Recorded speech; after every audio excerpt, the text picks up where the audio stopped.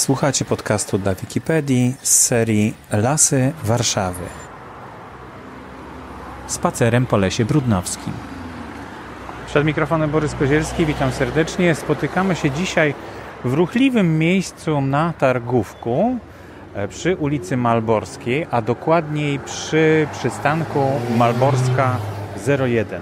Ruch uliczny tutaj jest dosyć e, głośny, ale za chwilę wejdziemy właśnie do Lasu Brodnowskiego, bo to dzisiaj jest tematem naszego spaceru. Także jeśli ktoś by chciał dołączyć, to zaczynamy od przystanku Malborska 01. 02 czy 01? 02. Przystanek Malborska 02. Można tutaj bezpośrednio e, z różnych części Warszawy dojechać e, autobusem. Natomiast my jesteśmy na takim skrzyżowaniu pomiędzy ulicami Malborską a ulicami, ulicą Przygrodzisku. No i już sama nazwa sugeruje, gdzie nasza trasa będzie się zaczynała, ponieważ rzeczywiście Las Brudnowski słynie też z tego, że znajduje się tutaj dawne grodzisko z To X zaraz, wieku. zaraz dojdziemy. Jak, tak jest. Adrian Unisz... Uszkiewicz. Uszkiewicz. Adrian Uszkiewicz i Bartosz Popczyński. Tak jest. Dzień dobry, witam serdecznie. Idziemy taką starą ulicą, która już tutaj jest zamknięta dla ruchu od strony Świętego Wincentego. Malborską właśnie. Czyli to jest. Malborska. To jest ta sama ulica, która przechodzi przez cały las i po Tak. drugiej stronie w centrum handlowym też się ujawnia. Tak. I tam jest, e, tylko tam, że już się kończy Warszawa, tam się zaczynają ząbki, więc e, ta ulica tak nie za bardzo wiadomo jak biegnie, bo po drugiej stronie też jest Malborska i tam są budynki przy ulicy Malborskiej. Natomiast tutaj wchodzi w las. I my też e, razem z tą ulicą wchodzimy w las. Im dalej, tym mniej słychać ten szum uliczny, szum miasta. Po prawej stronie przedszkole, to znaczy nie przedszkole, chyba tak, przedszkole Plac jakieś. zabaw. Plac zabaw przeznaczony właśnie do użytku przedszkolnego, a my już dochodzimy do miejsca, gdzie znajduje się leśny plac zabaw, ale leśny plac zabaw w takim klimacie właśnie również średniowiecznym, ponieważ zaczynamy przy takiej wielkiej drewnianej bramie, warowni. Można by pomyśleć, że tutaj cofnęliśmy się w czasie do X wieku i rzeczywiście bardzo jest to e, stylistycznie związane z tym, co niedługo zobaczymy, czyli pozostałością po, 10, e, po grodzisku wybudowanym w X lub IX wieku. E, Tak mniej więcej jego historia się rozpoczęła i jest związana również historia z całym miejscem, ponieważ oprócz samego grodziska znajdowały się tutaj wsie, e, biegła rzeka, która od tej rzeki tereny podmokłe tutaj były dość chronione, a grodzisko było otoczone z trzech stron praktycznie bagnem, więc było niedostępne i tylko z jednej strony, stąd e, było to też miejsce, które miało właściwości obronne. Oprócz tego po lewej stronie dochodzimy do pomników przyrody. No właśnie, a tutaj jest taka kostka brukowa, mm, e, granitowa chyba z jasnego granitu. Też tak e, wprowadza w taki nastrój trochę już e, średniowieczny, chociaż pewnie w tamtych czasach takiej kostki nie układano, ale jest to coś starodawnego. Tutaj takie trzy głazy narzutowe chyba, tak to się nazywa, z moreny czołowej pewnie. Tak, e, dwa z nich są pomnikami przyrody. Mamy tutaj jeden z nich, na jednym z nich są właśnie upamiętnienie grodziska. Jest napis informujący, że znajdowało się tutaj grodzisko grodu e, i osady e, Brudno z X wieku. Listopad 2000, który tutaj jest, nie możemy doczytać. E, 1990, 91, czyli ta tablica, znaczy ten e, napis został wyryty wtedy w tym kamieniu tutaj. Tak, i jeden z nich jest e, granitem, a drugi, pamiętasz Bartek, jaki jest drugi? Gnejsem. Gnejs. Gnejsem jest drugi. Który tak, gnejs to ten po prawej, taki bez, bez napisów. Tak. Tak. Więc y, geolodzy też mogą tutaj nie tylko sam granit, ale również gnejs zobaczyć i myślę, że chętnie mogą to miejsce e, odwiedzić. A my teraz będziemy przechodzili przez plac zabaw. E, Znaczy wchodzimy tą bramą Tak. średniowieczną taką, tak, jak, tak jakby do tego grodziska. E, warownia taka, właściwie to jest taka brama strażnika. Polana archeologiczna tak się nazywa. Tutaj ten napis jest nad tą bramą. Jeszcze chciałbym powiedzieć parę słów o samym pomniku przyrody, bo właśnie te głazy, które przed chwilą widzieliśmy, to były pomniki przyrody. To jest taka spec specyficzna forma ochrony przyrody, która polega na tym, że chronimy tylko dane, yy, czy to, yy, czy to co, coś z przyrody ożywionej, czy nieożywionej. Tutaj akurat mieliśmy z nieożywionej. Najczęściej jednak nam się kojarzą pomniki yy, przyrody z drzewami, a takimi najczęściej występującymi drzewami jako pomniki to są lipy i dęby, przynajmniej tak w Polsce, bo one osiągają właśnie te wielkie rozmiary. To najpospolitsze są takie e, pomniki, natomiast w ogóle pomnikiem mo może stać się każde drzewo, pod warunkiem, że uzyska odpowiednie rozmiary. No, głazy się nie zmieniają, więc po prostu jeżeli są okazałych rozmiarów, no to warto e, też takie, e, taki, taki głaz po prostu chronić. Mhm. Idziemy prawą stroną tej polany, która tutaj jest e, placem zabaw dla dzieci jednocześnie. Są też takie miejsca do biesiadowania, że tak powiem. Nielegalne paleniska niestety, ale wszędzie tabliczki rzeczywiście są e, informujące o tym, że nie wolno tutaj palić ognisk otwartych. Jak to wygląda tutaj? No tak, to prawda. Tutaj nie można. Rzeczywiście jest, chociaż yy, Polana bardzo do tego zachęcała, żeby tutaj jednak rozpalić to ognisko, ale no, przypominamy, że w Warszawie są tylko dwa miejsca, gdzie można palić e, otwarty ogień. To jest polana w lesie kabackim i polana e, w lesie mucińskim, w zasadzie tuż przed tym, e, przed tym lasem. No to są tylko jedyne takie dwa miejsca. Tutaj nie palimy, ale korzystamy z innych uroków tego miejsca, bo tak jak właśnie wspomniałeś, plac zabaw jest naprawdę bardzo fajny. Yy, dla dzieci. Nawet nie, niektóre rzeczy są takie dosyć nie, nietypowe, te urządzenia, że tam dziecko naprawdę może się e, pobawić. Zresztą sam mogę powiedzieć z własnego doświadczenia, że jak tutaj przychodzę z grupami, e, prowadzę zajęcia, już tutaj zwykle właśnie kończymy w tym miejscu, to taką główną atrakcją dzieci zawsze pytają o to, że czy mogą pójść na ten plac zabaw się e, pobawić. Także to jest bardzo, bardzo fajne miejsce. Mhm. Dochodzimy do takiego rozwidlenia, właśnie, właśnie bo musimy mhm. powiedzieć słuchaczom, gdzie mają iść za nami. Skręcimy w lewo, bo tak. Y, ta polana mhm. ma kształt y, mniej więcej koła, więc my sobie po obwodzie tego koła idziemy i warto na przykład zobaczyć y, takim punktem charakterystycznym, tutaj będziemy mijali w ogóle w lesie brudnowskim różne tablice edukacyjne, ale pojawiają się też podpisy drzew. Tak to obrazowo możemy dla słuchaczy opisać. Na pewno będzie łatwo je e, wtedy zauważyć, a jest to po prostu drewniana tabliczka, na której jest e, wyryty gatunek drzewa, które przed tą tabliczką stoi, więc można też e, dendrologicznie poszerzyć swoją wiedzę.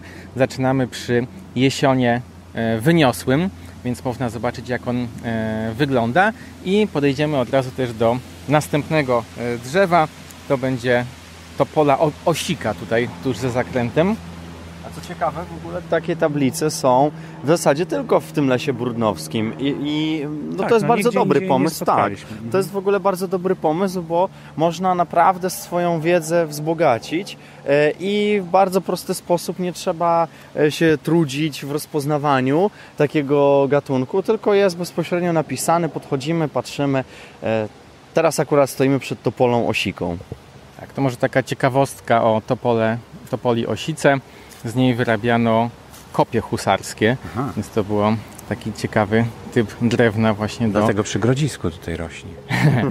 A przy grodzisku może też rośnie, bo e, mamy przecież też osinowe, osikowe kołki. Osikowy kołek, no to trzeba było nim zabić wampira, żeby wampir e, skutecznie umarł. To jakby ktoś szukał, to tutaj w lesie Tak jest, więc chroniła też przed e, złymi duchami.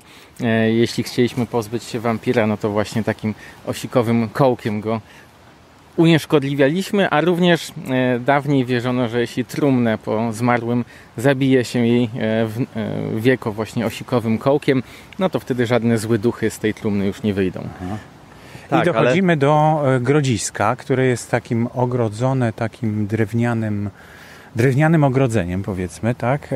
I właściwie jak odkryto to, to grodzisko? Coś wiecie na ten temat?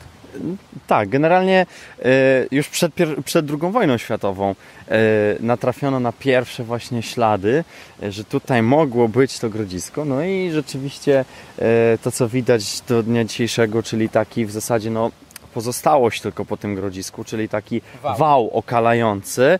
E, ta, tam w ogóle, jak już powiedzieliśmy o kołkach, tak, to tutaj by trzeba było powiedzieć o trochę większych kołkach, raczej takich balach, ale właśnie ten,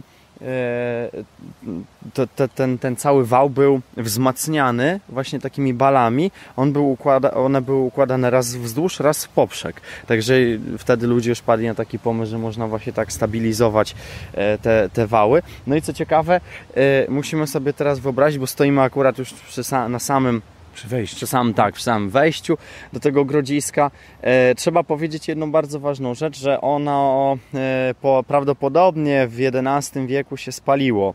No i zostało porzucone, więc od tamtego czasu przetrwało do, do dzisiaj. E, ale nie było już od tego XI wieku u, u, Mhm. tak właśnie użytkowane. E, No i co jeszcze warto powiedzieć, no naukowcy tutaj odkryli, że e, Najprawdopodobniej był, było to e, tylko schronienie, czyli tutaj po prostu w razie jakiejś e, napadu i wrogiego ludu albo e, w, jakie, w razie jakiegoś A. niebezpieczeństwa, tutaj się po prostu ludzie chronili. Schron no i tak, to był taki schron, dokładnie, taki powiedzmy, że tam w, ówczesny bunkier, coś takiego. Mhm. E, I on jest właśnie, e, znaczy teraz tego nie ma, tak, ale był otoczony jeszcze takim, takim taką palisadą, e, oceniana jest wysokość na 6 metrów, także A, bardzo wysoko. nieźle. No Mhm. tak, tak, tak, dokładnie, więc to jakby zdradza, że rzeczywiście mm, pełnił funkcje obronne. XI wiek, czyli e, mniej więcej ten sam czas mówiliśmy o tej drodze, która przez Kabaty Tak, biegnie. No ta droga to bardziej może już XII wiek e, na pewno istniała, tak. ale rzeczywiście można to połączyć e, ideę tej drogi, ideę tego grodu i w ogóle skąd się wzięła ta nazwa, e, ponieważ to nazwo, dzisiaj nazywamy go Grodem Brudno od e, miejsca, od wsi Brudno, która też potem tutaj została, a źródło słów jest taki, że chodzi o brud. Brud, czyli płytkie przejście w rzece. I rzeczywiście, A jak spojrzymy na stare mapy, to brud, brudno pisze się z, przez U zwykłe w dodatku. E, No to różnie z tym bywa, bo czasami niektóre mapy sporządzone przez obcokrajowców e, rzeczywiście zawierały te e, nie zawierały niuansów języka polskiego, ale rzeczywiście nazwa od brodu, czyli płytkiego przejścia przez rzekę i również tutaj płynęła rzeczka Brodnia, która też swoją nazwę wzięła od tego, że była niedaleko przejścia przez tą większą rzekę, czyli Wisłę, no bo pamiętajmy, że cały czas mówimy tutaj o Wiśle, która była dość istotnym szlakiem e, komunikacyjnym, handlowym, ale też wzdłuż Wisły właśnie się e, poruszano, stąd ta droga e, na kabatach biegła wzdłuż Wisły, jak pamiętamy. Ja może zasugeruję coś takiego, ponieważ po drodze zdarzają nam się tablice, których my nie będziemy czytać, dlatego że no, jeśli ktoś tutaj jest, to może sobie sam przeczytać. E, Bardzo interesujące, edukacyjne, dlatego można zapauzować sobie po prostu podcast i w tym momencie Tak. przeczytać. A tablicę o a potem-. Można, możemy Tak, mówić, właśnie, no. mijamy, żeby też jakiś punkt orientacyjny, Mhm. żeby było wiadomo, gdzie ich szukać. I idziemy tak jakby w lewo, e, wracając troszeczkę, ale już e, prawym Malborskiej. skrajem. Tak, z powrotem do ulicy Malborskiej. E, Także, żeby ktoś mógł za nami podążać, to, to zapraszamy właśnie w tą stronę. Jeszcze Bo chciałem- zrobimy takiego zygzaka przez ten las chyba, tak? Tak, tak, tak, dokładnie. No, obejdziemy generalnie od jednej bramy do drugiej, de facto tak będzie wiodła nasza trasa. Natomiast y, ja jeszcze chciałbym powiedzieć parę słów o tej, y, o tych tablicach edukacyjnych, które się tutaj znajdują, bo no to jest jeden z nielicznych lasów, gdzie mamy dosyć dużą różnorodność tych tablic, bo są e, tablice oczywiście przyrodnicze, ale są też tablice takie historyczne, archeologiczne, takie właśnie jak tutaj przy Grodzisku, ale też i geograficzne. Także jest dosyć duża różnorodność tych tablic. Sporo się można dowiedzieć. No i są jeszcze to, o czym już wspominaliśmy i będziemy cały czas widzieć na naszej trasie, te e, takie ta, tabliczki, które nazywają konkretne gatunki drzew. Więc no tutaj naprawdę można z, dosyć e, wszechstronnie skorzystać z tego, z tego lasu, z tych walorów i jeszcze są, właśnie, jeszcze są, ja myślę, że to też jest taki las, który się pod tym względem wyróżnia, bo proszę zobaczyć, że tutaj przechodzimy obok takiego miejsca, gdzie tu jest siłownia plenerowa. Tu za chwilę są też takie drążki do podciągania. My przejdziemy dalej, będzie ścieżka zdrowia. Aha. W związku z tym, jak ktoś, są też ścieżki biegowe. W związku z tym nie, można nie tylko się dokształcić, ale też i poprawić swoją kondycję, poćwiczyć i tu naprawdę sam testowałem, sam tutaj czasami korzystam z tych urządzeń, także naprawdę jest to taki ciekawy las pod tym względem. Dochodzimy do skrzyżowania, idziemy nim w prawo, tak? Tak Będziemy głównym traktem, teraz ulicą Malborską właśnie, mimo że już w lesie nie wygląda jak ulica, szli e, w prawo. Natomiast są jeszcze, tak Bartek zauważył, że są przyrządy do ćwiczeń, są też tablice sportowe, nazwiemy je tak, które pokazują jak używać poszczególnych urządzeń i jakie partie mięśni pracują przy ćwiczeniach, więc jest to taki las multifunkcjonalny, byśmy nawet powiedzieli, ponieważ oczywiście i służy do tego, żeby w niektórych miejscach pozyskiwać drewno, ale też właśnie do rekreacji, do edukacji, do tego, żeby podnosić e, swoją tężyznę fizyczną i e, ogólnie mieć dobre samopoczucie. Tutaj w ogóle y, też jak mówimy o takiej różnorodności, to ja bym chciał jeszcze zwrócić uwagę na różnorodność przyrodniczą tego lasu, bo możemy No mijamy piękne brzozy. Tak, duże dokładnie. Są brzozy, są olchy też, tak, dokładnie. Y, I myślę, że niewiele jest w Warszawie lasów, które mogą się pochwalić taką różnorodnością. Las y, Brudnowski i chyba las jeszcze Bemowski, tak przynajmniej to w mojej opinii wygląda. Y, To są takie lasy, które dos, dosyć są mocno rozmaicone przyrodniczo. Y, Dlaczego? No bo tutaj w Lesie Brudnowskim mamy na przykład bory, czyli no większość to są jednak bory, czyli takie miejsca mm, raczej suche, gdzie poras, porastane przede wszystkim przez sosnę, no drzewa iglaste, tak? To bór właśnie się kojarzy raczej z drzewami iglastymi. Natomiast są też takie e, miejsca bardziej żyzne, gdzie takie tworzą się nawet takie zastoiska wody okresowe e, i tam na przykład e, jest raz, że żyzno, dwa, że pojawiają się e, gatunki, które e, znoszą takie okresowe nawet zalewanie, typu na przykład e, olsz, olsze, ale to będziemy przechodzić, to powiemy o tym. No i też są na przykład takie szpalery brzozowe, wzdłuż nich będziemy też przechodzić, zresztą tutaj mamy też Tak, coś takiego widoczne, wygląda. prawda? Że Przeszliśmy pod, y, stronie brzozy, po Pod drugiej. linią wysokiego napięcia. Wcześniej też była tablica informacyjna, edukacyjna i wchodzimy właśnie w taki piękny szpaler Dokładnie. brzozowy. Tak? Dokładnie tak. Teraz mamy właśnie taki szpaler brzozowy. Za chwilę będziemy, jak wyjdziemy z niego, to zobaczymy właśnie tą ścieżkę zdrowia i taki las, który no właśnie bardziej nam przypomina bór. Nie jest to las liściasty. e, Po czym e, no będziemy też przechodzić właśnie przez Ols e, i później znowu przez szpaler brzozowy. Także naprawdę też sporo się tutaj zmieni, bo tak jak sobie przypominamy las na przykład bielański, przez który spacerowaliśmy, czy kabacki, one już tak bardzo mocno tu przyrodniczo właśnie nie są urozmaicone. Generalnie są tak powiedzmy, że w miarę jednolite, a tutaj jednak te środowiska się tak ze sobą przeplatają. Mhm. Ale ostatnio tutaj też miała miejsce wycinka e, drzew. E, Powiecie coś dokładniej o tym? Dlaczego były te drzewa wycinane? Tak, dokładnie. Rzeczywiście była e, wycinka tutaj prowadzona e, i to jest, to wynika z niczego innego jak po prostu z przebudowy.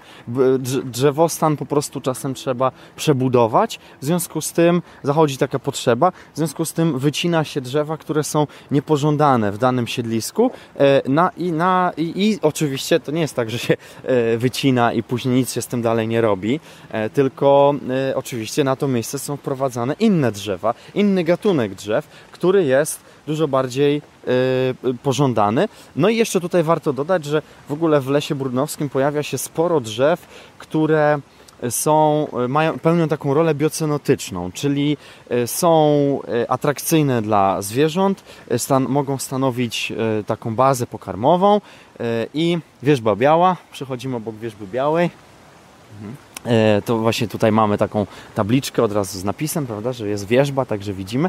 E, Wrócę tylko do tych drzew biocenotycznych, więc tutaj sporo drzew było właśnie takich dosadzonych, sporo drzew właśnie takich podszytowych, krzewów też takich podszytowych się znajduje, które stanowią taki ważny element dodatkowy e, i mogą stanowić właśnie pożywienie dla zwierząt. A z wierzbą białą warto dać taką ciekawostkę zielarsko-leczniczą, ponieważ kora wierzby białej e, robiono z niej wywar, który ma właściwości przeciwzapalne, przeciwgorączkowe, e, dlatego, bo zawiera dużo salicyny. A dzisiaj stosujemy e, sztuczny odpowiednik, czyli na przykład aspirynę zażywamy, która ma też takie same właściwości.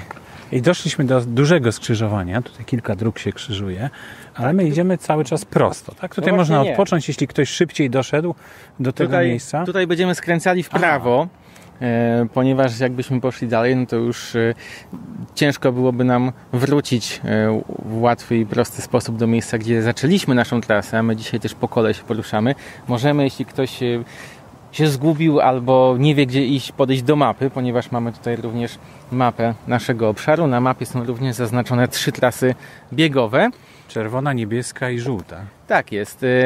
No i mamy też podany kilometraż tych tras, więc y, czerwona liczy kilometr, niebieska 3 km, a żółta najdłuższa 4,2 km. My natomiast y, skorzystamy z innej ścieżki, jeszcze skręcimy sobie e, w prawo i jak skręcimy w prawo przy tablicy dotyczącej matematyki w lesie, więc jest to punkt orientacyjny. Właśnie miałem zapytać, bo ta tablica, przy której stoimy, Las Brudnowski, zrealizowana w ramach budżetu partycypacyjnego, trasy biegowe, Mhm. jest na takiej normalnej wysokości wzroku. Natomiast niektóre tablice są tak e, jakby mm, dla dwumetrowych, dla trzymetrowych przybyszy. O co tu chodzi? Czemu to tak, Tak, to wysoko jest- jest? To jest akurat taki. e, To, to, to, to było w konkretnym celu e, powieszone na takiej dużej wysokości, po to, żeby e, uniknąć dewastacji, bo jak wiadomo, wiele tablic po prostu i wiele w ogóle urządzeń, które znajdują się w lasach, są mm, traktowane no, niezbyt z należytym, z należytą poszanowaniem, z należytym poszanowaniem i po prostu ludzie mają przyjemność z tego, że niszczą te tablice. I właśnie, żeby nie niszczyć tych tablic, to kiedyś mm, właśnie był, była, był taki, mogę powiedzieć, chyba trend, żeby je wieszać wyżej. E, to Ale widać, dzisiaj. teraz już raczej nisko. Właśnie, właśnie, bo dlatego chciałem też do, o tym powiedzieć, że już od tego y, odchodzimy, ponieważ y, jak widać te tablice tutaj, bo są trzy, one wiszą nisko, także każdy może podejść i bez zadzierania głowy przeczytać, co się na nich znajduje. Dokładnie je obejrzeć. No jak widać, całe szczęście nie są pomazane, nie są zniszczone. E, No a przecież warto dodać, że to jest w ogóle nowy nabytek. To jest, to jest rzecz, która, ta ścieżka, którą widzimy tutaj i te wszystkie urządzenia, które są po jednej, po drugiej stronie, pojawiły się tutaj niedawno, albo w tym roku, albo w- zeszłym roku, to już dokładnie nie pamiętam. W każdym razie, no kiedyś tutaj były tylko stoliki, był tylko ten stolik i ten stolik. A teraz zrobiło No się to z tutaj... budżetu partycypacyjnego to mieszkańcy sami zgłosili taki projekt i, i został zrealizowany. Tak, budżet, budżet partycypacyjny rzeczywiście to jest bardzo ciekawa, e, ciekawa mm, taka sprawa, która pozwala mieszkańcom e, decydować, no bo któż inny jak nie oni sami wiedzą, co tutaj jest potrzebne. E, w związku z tym. Czyli no, zachęcamy do tego, żeby zgłaszać takie projekty Tak. w budżecie partycypacyjnym. Co roku jest i co roku można wymyślić coś pożytecznego dla lasu Tak, przy okazji Oczywiście. naszego, na- naszych odwiedzin. Jak najbardziej, jak najbardziej, zdecydowanie. Budżet partycypacyjny to jest rzecz naprawdę fantastyczna. Nawet e, mogę podać też jeszcze inny przykład. Tutaj Adrian zresztą fotografował, to może on się też wypowie coś więcej na ten temat, ale e, właśnie m, mieszkańcy zgłosili, żeby pewien fragment lasu po prostu m, jakby urozmaicić, upiększyć. E, Zgłosili coś takiego do budżetu partycypacyjnego i rzeczywiście ten projekt został zrealizowany. Także to jest y, i to mm, wiadomo, nie tylko na terenach leśnych tak działa i funkcjonuje, ale jak widać tutaj, no jest fantastyczny przykład, że jednak mieszkaniec też coś może zrobić dla całego miasta, dla ogółu y, społeczności. Literka B po prawej stronie na słupku. Co to znaczy? To jest y, bardzo tajemnicza pozostałość. No bo. B, bardzo tajemnicza. tak, B jak bardzo tajemnicza. Idziemy dalej. Możemy tą zagadkę zostawić naszym widzom do rozwiązania. Czy C jakaś też jest. e, tajemnicza kultura starosłowiańska postawiła te nasze słupki. Ale możemy też tą zagadkę rozwiązać. To jest po prostu pozostałość po poprzednich tablicach e, edukacyjnych. Tu była taka niewielka gra e, związana właśnie z literkami. E, Tablice zębem czasu nadkruszone trzeba było zdemontować i na ich miejsce postawić już nowe, ale właśnie zostały Słupki zostały. słupki z literkami, trochę też zarosły więc można jakoś je wykorzystać do na przykład jakichś kalamburów. Po lewej stronie klon Jawor. tak. Ale gdzie on jest, bo jakoś go nie zobaczyłem. To jest ten po lewej, tak? E, nie, to widać go, o, tutaj nawet jak popatrzymy sobie e, dookoła, to on jest w zasadzie, nie jest A, może wszędzie. za samą tablicą, mm -hmm. chociaż tak, generalnie z tego co widzę, to on jest tutaj wszędzie, tak, on jest tutaj wszędzie dookoła e, się pojawia. Czyli tabliczka nie odnosi się do konkretnego jednego tak, znaczy, tylko do całego właśnie, siedliska, tak? Tak, właśnie tutaj chciałbym zaznaczyć, że czasami jest tak, że te tabliczki e, nie są bezpośrednio przy drzewie, to znaczy czasami mhm. trzeba po prostu poszukać, bo na przykład drzewo, prawda, które rosło za tabliczką, e, gdzieś e, zniknęło za sprawą na przykład tego, że się złamało chociażby, prawda? Mm -hmm. Albo, albo ktoś je, nie wiem, wyrwał, wyciął i tak dalej, zniszczył, no bo takie sytuacje też się zdarzają. Natomiast jakby e, tabliczka pokazuje, że gdzieś tu w okolicy, w najbliższej okolicy oczywiście, nie metr od niej, znajduje się taki gatunek. No i tutaj akurat tego klona jest dosyć sporo, bo proszę bardzo, tu jest jeden duży, tutaj jest taki malutki, tu jest trochę większy, także ich trochę jest. E, podejdźmy, może sobie zobaczymy w ogóle takie te liście, bo e, klon Jawor Czyli klonowe troszeczkę tak, te tak, liście. Tak, tak, tak, tak, najbardziej. To są klonowe liście, podobne do klona pospolitego, z tym, że e, klon pospolity, o czym, o, po czym odróżnić?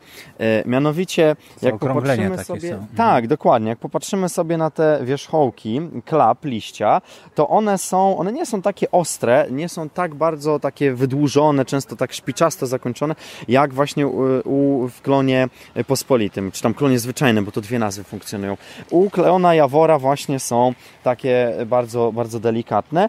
E, no też warto zwrócić uwagę również na to, że tutaj są wcięcia w tych liściach są y, ostre, a w klonie y, pospolitym czy właśnie zwyczajnym są zaokrąglone i po tym właśnie łatwo rozpoznać, dokładnie tak. A tu, ale jeszcze można pomylić z czym innym, bo tutaj jest jeszcze liść, który jest y, no trochę nawet podobny do liścia klonowego i ktoś, kto właśnie będzie pierwszy raz i zobaczy tutaj napis klon Jawor i popatrzy, co jest od razu za tabliczką, to Y, zobaczy nie klona, a chmiel. Także tutaj może, to tak, tutaj właśnie jest y, widoczny chmiel. E, jeszcze on nam będzie towarzyszył podczas naszego spaceru. Czyli najlepiej sobie sprawdzić przy okazji w Wikipedii, jak to wygląda taki liść, e, zobaczyć ilustracje, bo na pewno są.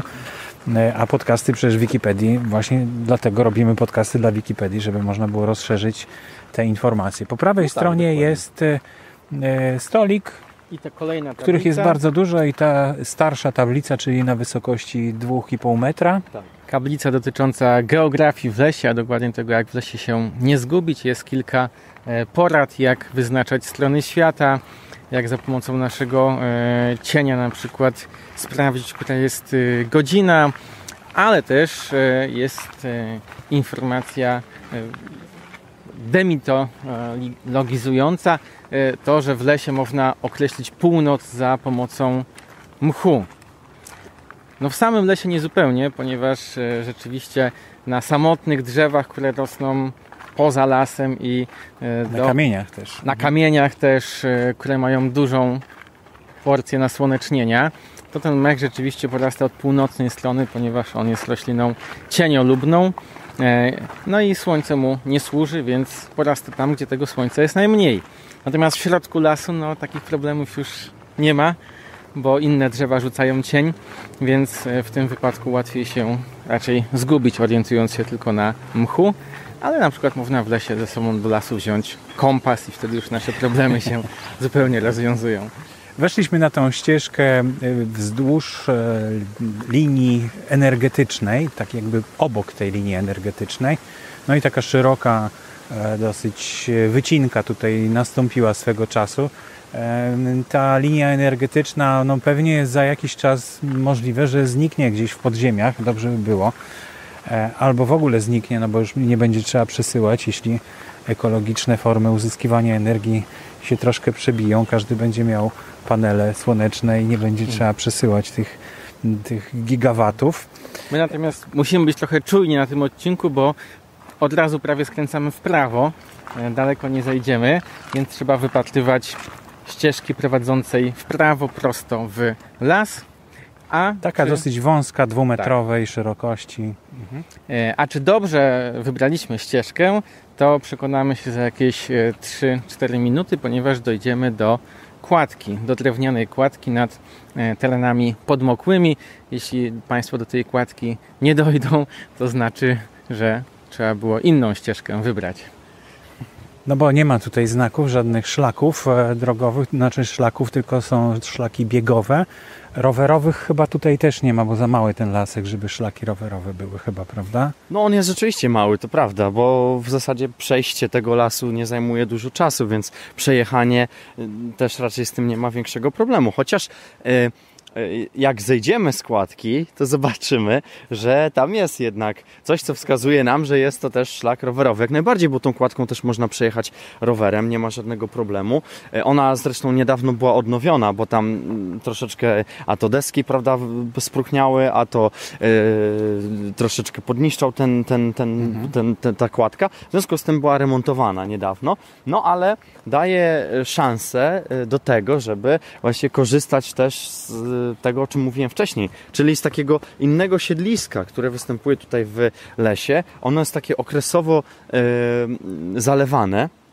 Zresztą widać, że teraz nie ma wody akurat, prawda? My tu sobie przechodzimy. No już weszliśmy tak na tą Tak, już idziemy po Mhm. kładce dokładnie i wokół się rozglądamy na lewo, na prawo Pokrzywy i wody. wszędzie. Tak, dokładnie, wody nie ma, ale za to mamy e, pokrzywy, które nam świadczą i to proszę zwrócić uwagę, że dosyć imponujących rozmiarów, bo te pokrzywy są naprawdę wysokie. Zresztą tutaj nie tylko też pokrzywy, ale też na przykład niecierpki drobnokwiatowe też bardzo mm, wysoko e, porastają. No i o proszę, tutaj idziemy kładką. Kładka jest troszeczkę nad ziemią, a niektóre tutaj pokrzywy prawie że nam dosięgają do, Tak. no, do, do ramion, tak? Także naprawdę są niektóre bardzo wysokie.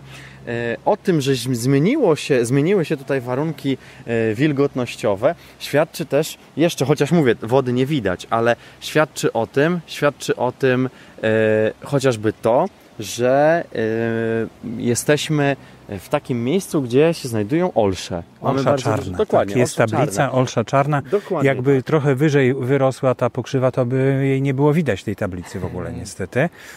Ale myślę, że nasi słuchacze są czujni. E, Tutaj na tej kładce są dwie takie, nie wiem jak to nazwać, mijanki albo punkty widokowe. Tarasy nawet można E, by No bo jak ktoś jedzie rowerem w jedną, no to może, może to jakoś pomaga. Może wózek na przykład, żeby się minąć wózkiem, no to, to warto tam... Możemy e, natomiast powiedzieć, skąd się wzięła w ogóle nazwa Olszy Czarnej. Aha. Dlaczego ona jest czarna? No przecież wcale taka czarna Zielona jest. nie jest, no właśnie. Ale e, wzi- wzięła się stąd, że służyła do barwienia, barwienia na czarno. Więc bardzo dobry barwnik, który farbował tkaniny na czarno, właśnie pozyskiwano z e, olszy. A jeszcze a propos tego, że znajdujemy się nad terenami podmokłymi, które już trochę są mniej podmokłe niż e, kiedyś, no to przypomnijmy sobie, że właśnie to średniowieczne grodzisko, gród Brudno był chroniony przez te tereny bagienne, które tutaj dookoła się No, znajdowały. całe Zacisze podobno było w ogóle takim terenem bagnistym, ten folwark e, zaciszański i dopiero na początku XX wieku był tak już e, sukcesywnie osuszany poprzez kanały. Tak, i właśnie to trochę też się zmieniło, bo ta rzeka Brodnica, która też tutaj wzdłuż e, płynęła, no to obecnie jest to kanał brudnowski. Więc ten kanał brudnowski też doprowadził Czyli do to tego... była rzeka, tak? Tak, Mhm. doprowadził on też do tego, że ten teren został osuszony, że wszystkie te cieki trafiły do kanału brudnowskiego, no ale taki, taka była idea, no bo taka była idea, bo w końcu zaczęto budować tutaj coraz więcej e, osiedli, powstał też e, targówek fabryczny, gdzie e, trzeba było wybudować kolejne miejsca do pracy, więc teren trzeba było tak naprawdę osuszyć. A Targówek, no przecież znajdujemy się w dzielnicy Targówek, to swoją nazwę zawdzięcza też wsi, wsi najpierw, właśnie dwóm wsiom nawet, targowe małe i targowe duże, które się połączyły i razem przyjęły nazwę Targówek. Bezczarny po lewej stronie, kolejna tablica. Tak, który ma kwiaty koloru białego.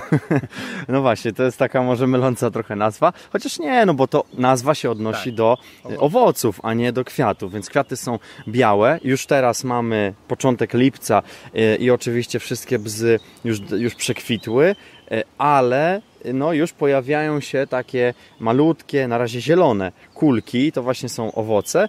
My je zobaczymy, może jeszcze jak zejdziemy. Tak, to, zobaczymy to, też to w zależności od tego, w którym miejscu lasu jesteśmy, to ta wegetacja trochę inaczej przebiega, czyli jak dojdziemy na skraj mhm. lasu, gdzie dociera więcej słońca, no to wtedy też zobaczymy, że na tym na bzie czarnym rzeczywiście już są zaczątki owoców. Dochodzimy do końca kładki i tutaj mamy rozwidlenie tak w, lewo, w, lewo, w prawo, idziemy w lewo. Szlak rowerowy jest. O, proszę bardzo, od razu też tablica z tak, informacją o tym, że jesteśmy na szlaku rowerowym. do odwiedzenia wszystkich naszych lasów e, rowerem, e, ponieważ no, do każdego lasu możemy na terenie Warszawy dostać się rowerem, e, przejechać wytyczonym szlakiem i też miło spędzić czas. To osuszenie tych terenów podmokłych wiąże się też ze zmianami klimatycznymi, czy nie? Czy to jest po prostu taka pora roku w tej chwili, że tutaj jest rzeczywiście sucho? No mamy, mamy faktycznie teraz jest rzeczywiście sucho. Y, fala upałów co prawda za nami, ale zapewne też i przed nami. Y, ciężko tutaj stwierdzić dokładnie jaka jest przyczyna. Niemniej, no ja muszę powiedzieć, że jak przychodzi się tutaj taką wczesną wiosną, to rzeczywiście woda tutaj się pojawia. Rzeczywiście jakby nie było tej kładki, to niemożliwe byłoby przejście na drugą stronę tego, tej, tej niecki tutaj, która się pojawiła. A tu właśnie przeszliśmy e, do e, bzu czarnego i właśnie widać, że już pierwsze takie e, Malutki. maluteńkie, mhm, właśnie jeszcze tak jak mówię, zielone. Tak. 2-3 mm. Tak, dokładnie. 2-3 mm mają na razie te owocki, no ale one spokojnie jeszcze trzeba trochę, trochę poczekać i będą rzeczywiście czarne, zmienią swój kolor. A jeszcze chciałbym powiedzieć, jak już jesteśmy tak przy tych barwach i tak trochę opowiadamy o nich, to jeszcze chciałbym chciałbym powiedzieć o e, olszy czarnej, bo e, jest jeszcze jedna ciekawostka właśnie związana z tymi barwami dotycząca olszy, e, czy olchy, bo też warto zaznaczyć, że te dwie nazwy funkcjonują na, na jako jako to drzewo, czyli i olcha i olsza. W każdym razie, jak ją zetniemy, to widać, że taka świeżo ścięta olcha jest pomarańczowa. To jest mhm. dosyć ciekawe. Tak, to trochę tak jak z glisnikiem jaskółczym zielem. Jak się jego, złamie jego łodyżkę, to jest pomarańczowe. Taki intensywny pomarańczowy kolor. Z olszą jest podobnie. Mhm. Jarzębina modrzew EU co to znaczy EU? Europejski. Europejski. Aha, modrzew, aha. modrzew, tak. Modrzew europejski. Jest wskazanie, że jest mniej więcej oddalony od nas jakieś 10 metrów i widać rzeczywiście, że on tam za brzozą się kryje, ale jest. Aha. Jest widoczny, tak. Jest widoczny taki charakterystyczny pień i te gałązki e, z szyszeczkami są, są dosyć dobrze widoczne, a jarząb jest tutaj nad nami. To jest, to jest jarząb. Tak, dokładnie, albo... dokładnie nad e, tablicą naszą, e, gdy pojawią się na nim owoce, na pewno przyciągnie ptaki, bo jest to przysmak i gatunków e, leśnych i parkowych. I więc... pożywienie na zimę też. Tak, tak. A jeszcze jak jesteśmy przy tym pożywieniu, to proszę bardzo, bo mówiłem o tych gatunkach biocenotycz, biocenotycznych, które tutaj licznie występują i to są na przykład właśnie jarzębiny, prawda? Ale mogą to być na przykład też kruszyny, ale też y, jak na przykład głogi. No i tutaj właśnie mamy głóg, on, on się też pojawia w różnych fragmentach tego lasu, też taki gatunek właśnie poczytowy. Głóg jednoszyjkowy tutaj akurat jest widoczny. Możemy go tak dokładnie umiejscowić, żeby słuchacze wiedzieli, gdy odwrócimy się o 180 stopni od tej tablicy, to mamy dwie brzozy i z modrzewem. Mhm. I pomiędzy tak. tymi dwoma brzozami rośnie właśnie głóg trzy brzozy takie tutaj ogóle... są, jest pomiędzy dwoma. Tak, tak, tak. W ogóle takie trzeba powiedzieć, że okazałe brzozy, no bo tak. jednak brzoza nie osiąga jakichś rozmiarów typu jak stare dęby, prawda, że potrafi mieć średnicę y, półtora metra na przykład, y, mhm. tylko, czy tam metra, y, tylko to są, to są drzewa, które, które osiągają znacznie mniejsze y, rozmiary, no bo też krócej żyją. No i tu właśnie wchodzimy w taki trzeci element tego, tego lasu, o którym wspominałem, czyli mamy szpaler brzozowy. I ten szpaler chyba jest taki najbardziej charakterystyczny, tak mi się wydaje. Bardzo dobrze widoczny, no i tych brzus tutaj naprawdę dużo rośnie. Czy te brzozy tutaj też mają problem z wodą i z takim brakiem tego stałego podmokłego terenu?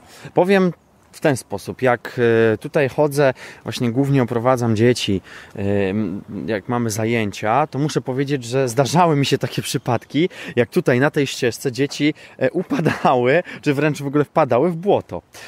Bo tutaj rzeczywiście bardzo często się tworzą kałuże. Wydaje mi się w związku z tym, że jednak tutaj tego problemu aż tak mocno nie widać, aczkolwiek teraz no, mamy początek lipca, jest sytuacja odwrotna, bo jest ziemia nawet miejscami, jak popatrzymy pod nasze stopy, to spękana, o właśnie tak jak tutaj i w zasadzie można było tutaj fragmenty tej ziemi można wyciągać. Zresztą Adrian nawet już to próbował i udało mu się taki kawałek zbity, taki kawałek ziemi po prostu wyciągnąć stąd. Także no jak widać jest to jak najbardziej e, możliwe i, i teraz akurat no tej wody nie brakuje. Natomiast yy, znaczy teraz akurat właśnie jest może zbyt mało tej wody, ale Często jak się tu przychodzi jest, jest, jest dużo. Mhm. Idziemy dalej tą piękną aleją. E, szpaler e, brzozowy, to już drugi właściwie, który tutaj mijamy, taki mniejszy, troszkę węższy i po lewej stronie widzimy lipa drobnolistna. Tak jest. Nowiutka tablica, więc tak widać, że tutaj będą te tablice chyba na nowo mm, zakładane. Tak, dokładnie. A lipę mamy, o tutaj, to jest nad nami akurat. Rzeczywiście tutaj przy tej przy samej tabliczce jest, jest ta lipa. No lipy też bardzo ważny gatunek, też taki biocenetyczny y, dla zapylaczy i w ogóle cenny taki w lesie, bo to jest jednak drzewo, które y, no jest, jest, jest ważne, bo y, po pierwsze miododajne, po drugie, no, z, za, jakby z taką zachętą do tego, żeby przylatywały zapylacze, głównie pszczoły. Pszczoły bardzo no chętnie no właśnie, właśnie mieszkają korzystają. pszczoły w tym lesie? E, powiem szczerze, że ja nie widziałem. Jeszcze jedną rzecz bym tutaj zwrócił uwagę. No bo przy tej tablicy, no właściwie na lewo od niej mamy budkę e, lęgową i tak jest e, i to jest przykład e, źle powieszonej budki, bo czasami zdarza się tak, że ludzie z dobrego serca przychodzą do lasu i na własną rękę samodzielnie wieszają budki, potrafią na balkonie przy swoim domu powiesić budkę. No i zdarza się tak, że żadne ptaki się nie wprowadzają albo na przykład wprowadzają się i spotyka je raczej dość marny los. Dlaczego ta budka jest e, źle powieszona, to my już widzimy, ale powiedzmy też e, słuchaczom, ona jest tak na e, wysokości mniej więcej mojej głowy powieszona, czyli no powiedzmy 1,75 m i jest to zdecydowanie za nisko dla ptaków. Budki należy wieszać no minimum 2,5-3 metry. To jest taka optymalna wysokość, przynajmniej dla tych budek, które tutaj mamy. Tu mamy budkę dla sikor, E, muchołówek. E, no i też e, warto pamiętać o tym, że odpowiednie wymiary musimy dać ptakom do mieszkania i życia w środku. Odpowiednie, czyli tak, żeby mogły tam zbudować gniazdo, żeby przez otwór zmieścił się tylko taki gatunek, jaki chcemy tam mieć, bo jeśli będzie otwór większy, to na przykład łatwiej tam mogą większe ptaki wejść, ale niekoniecznie już zbudować gniazdo, bo... Drapieżniki też Drapieżniki mogą. i pamiętajmy też o tym, żeby absolutnie przed, no to akurat tego złego przykładu nie ma, ale żeby przed budką nie wywieszać żadnego patyczka, E, ani żadnej podpórki, no bo z tych podpórek ptaki nie korzystają, one wlatują bezpośrednio w otwór i tak samo wylatują, ale bardzo lubi z takiej właśnie podpórki korzystać na przykład kuna, która jedną łapą się opiera o tą podpórkę, albo sroka, i, która wydziobuje, a kuna drugą łapą swoją e, wybiera młode albo jaja. Mhm, mhm. No, cenne uwagi. Myślę, że każdy miłośnik powinien się zainteresować i też może sobie w Wikipedii na pewno wyczytać, jak, jak e, powinna wyglądać budka dla ptaków. E, na stronach e, Lasów Miejskich Warszawa też można znaleźć takie informacje? Na naszych stronach można więcej informacji znaleźć o lesie, ale na przykład można na stronie Stołecznego Towarzystwa Ochrony Ptaków znaleźć informacje o tym, jak dokładne powinny być wymiary takich budek, gdzie je wieszać. E, czasami możemy w internecie też znaleźć akcje, podczas których są rozdawane e, budki lęgowe z dokładną informacją i instrukcją, gdzie i jak je powiesić. Właśnie, a ja tutaj chciałem jeszcze powiedzieć, e, to możemy się za, na chwilę zatrzymać, ale Może usiądźmy sobie na ławeczce, o, odpoczniemy chwilę. skorzystać z nowej, tak, nowa, nowa, dokładnie, to jest nowa ławeczka a ja chciałem powiedzieć o y, takiej sytuacji, która niedawno tutaj miała miejsce w Lesie Brudnowskim, bo y, już przeszliśmy, co prawda to jeszcze był fragment taki przed kładką, ale tam y, w oczyszczaniu lasu z gałęzi, ze ściętych gałęzi, w tym właśnie brali udział wolontariusze. 80 wolontariuszy było, także często właśnie jak osoby się różne zgłaszają do nas, że chciałyby coś właśnie zrobić wolontarystycznie i najczęściej jest to propozycja żeby posadzić las. To taka chyba naj, najczęstsza, taka od razu przychodzi na myśl, jak coś zrobić dla lasu, no to co? Posadzić las. Ale można też ten las na przykład uprzątać.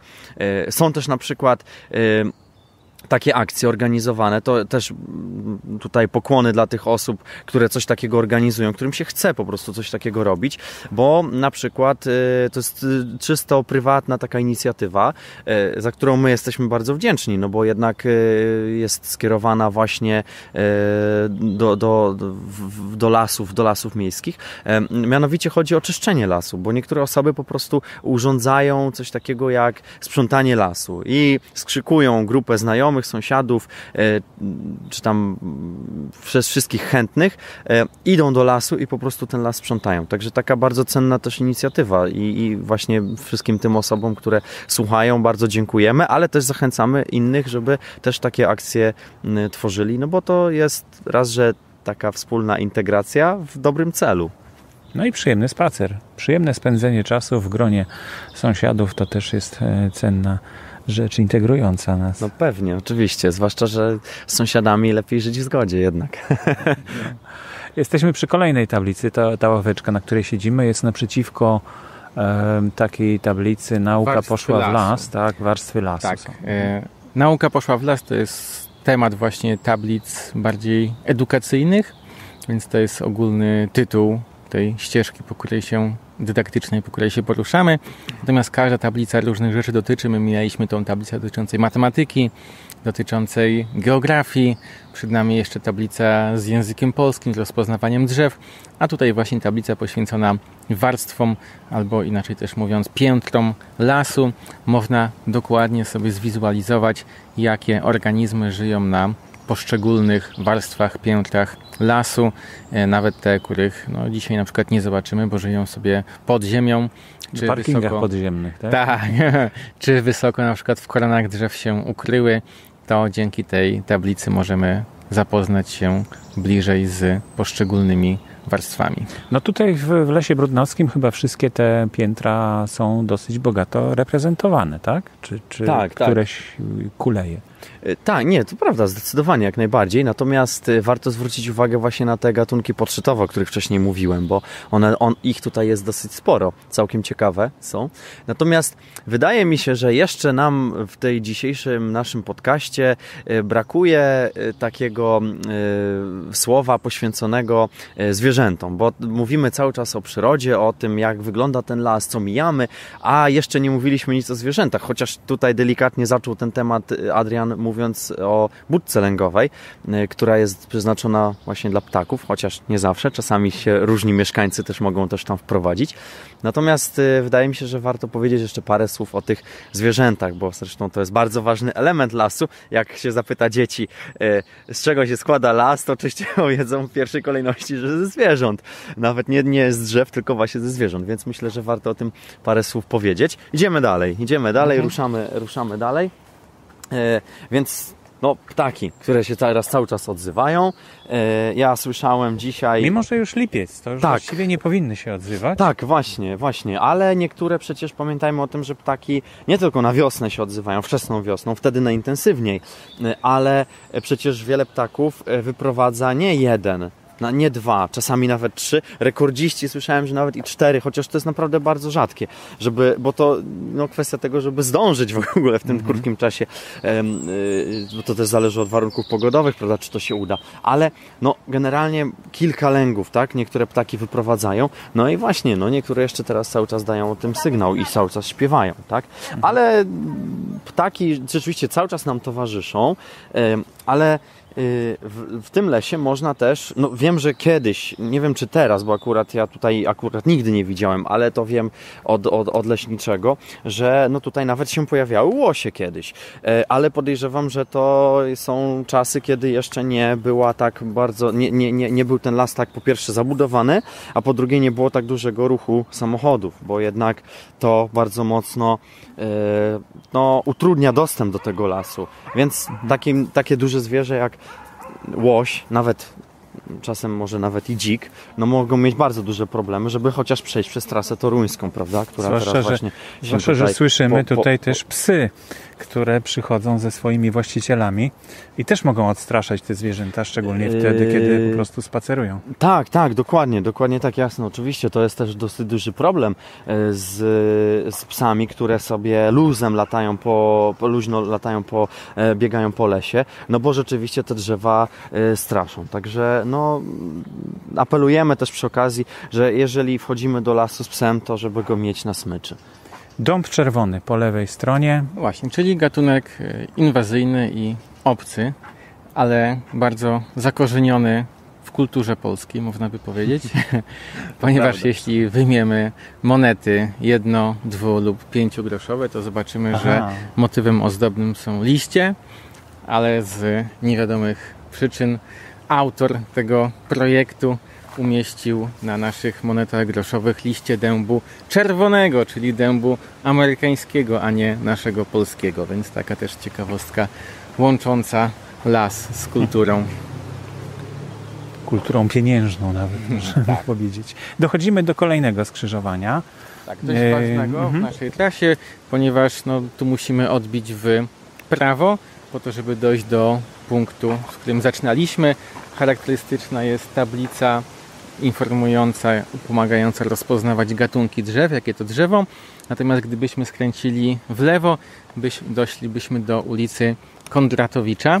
No i ciekawostka jest taka, że jest to jedna z Ale skręcamy w postaci, prawo. Ale skręcamy w prawo. Jedna z niewielu postaci, mhm. tak, która ma dwie ulice w Warszawie, ponieważ e, był to pisarz, który pisał pod pseudonimem Syrokomla. Syrokomla to był jego herb szlachecki. I jest też ulica Syrokomli w Warszawie. Całkiem Więc- niedaleko i w zasadzie też na targówku.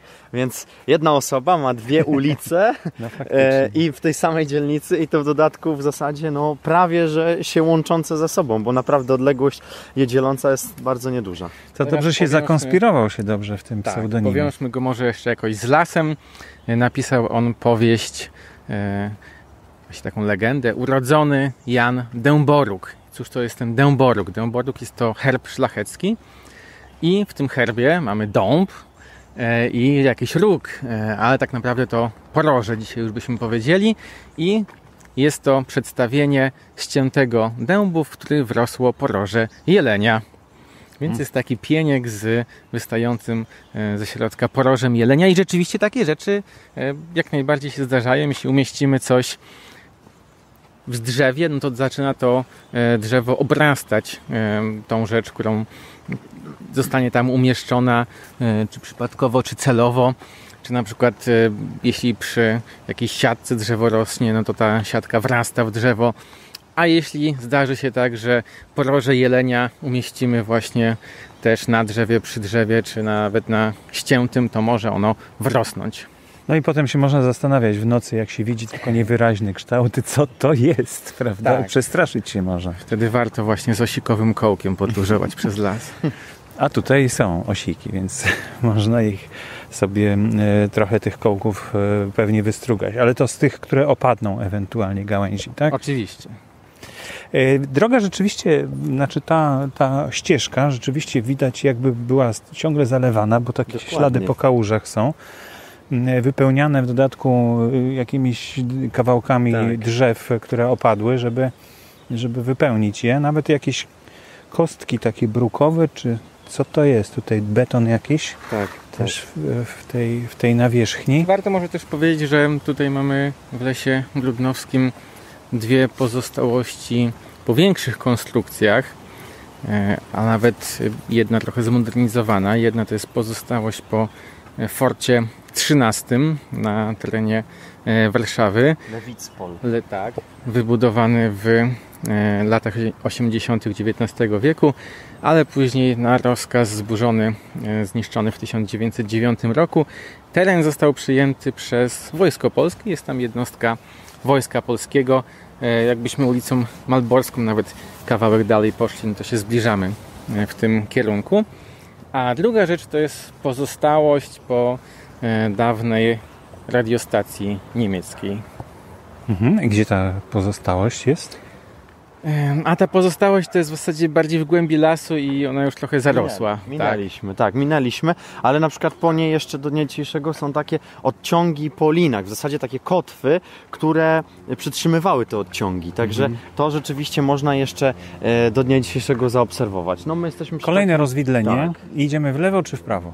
Delikatnie w lewo. Właśnie Trzymamy to już e, bez różnicy, gdzie pójdziemy, No tak. bo wyjdziemy na miejsce, w którym już e, byliśmy. Aha. To jest to miejsce, w którym musieliśmy uważać, żeby iść po okręgu i skręcić w lewo na samym początku naszego e, spaceru. Teraz właśnie tutaj też dochodzimy, więc zaraz nam się ukaże owa e, topola. Na początku No, nasz mieliśmy. spacer trwa około godziny, tak jak e, pozostałe spacery też staramy się, żeby...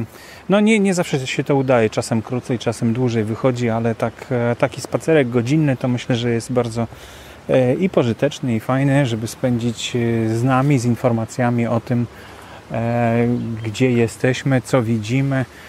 A widzimy właśnie m, na przykład kolejną tablicę z informacją o roślinie szakłak, Tak, pospolity głuk. Szakłak, dokładnie. I tu właśnie jest y, y, coś, co y, może być troszeczkę mylące, bo ten szakłak jest troszeczkę obok tej tablicy, czyli jak patrzymy na wprost na tą... planie jest głuk tym razem. Dokładnie, jest na pierwszym planie jest głuk, a w ogóle to jest jeszcze drzewo, które jest nazywane przez wielu e, bez. To jest taka nazwa zwyczajowa, aczkolwiek to nie ma nic wspólnego z bzem czarnym, o którym mówiliśmy wcześniej, tylko to jest bez, to kojarzymy na pewno z tych ładnych takich fioletowych kwiatów, prawda, które się wiosną pojawiają. No już teraz dawno przekwit, więc już nie ma e, tych liści, e, tych kwiatów pięknych, pachnących. Natomiast to jest lilak pospolity, tak się nazywa poprawnie ta, ta, ta, ta roślina.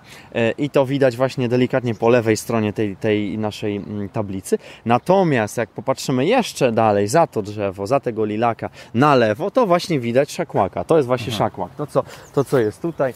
To jest właśnie. Takie okrągłe tak, liście. to jest tak, dokładnie. Takie, takie powiedzmy, że okrągłe liście, no tak maksymalnie do 6 cm dorastają yy, i też pojawiają się yy, na rozgałęzieniach yy, delikatne kolce.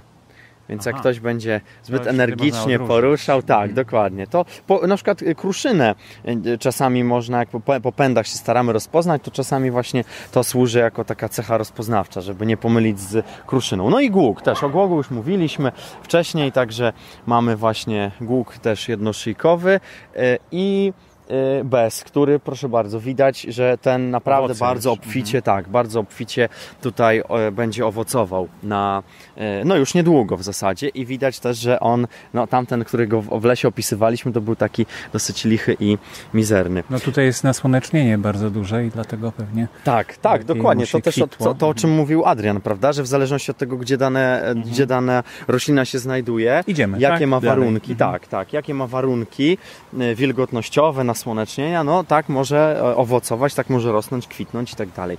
Ja jeszcze chciałem powiedzieć taką jedną rzecz, która nam umknęła na samym początku, a którą warto wspomnieć, że my e, znajdujemy się na terenie, gdzie kiedyś była puszcza.